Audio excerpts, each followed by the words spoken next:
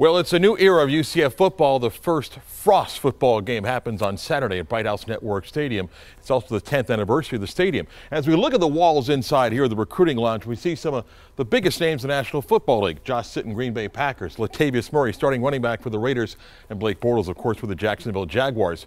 Now, new Knights to keep an eye on as this football season begins. Guys like Jawon Hamilton, exciting young freshman running back, and Adrian Killins, another guy that UCF looks like is going to play a lot this year and have a big season. Of course, UCF brings back some talent wide receiver. Tre'Quan Smith, hey, he may be what Brandon Marshall became in the National Football League, one of the best receivers there. After all, he was the AAC Rookie of the Year on offense last year.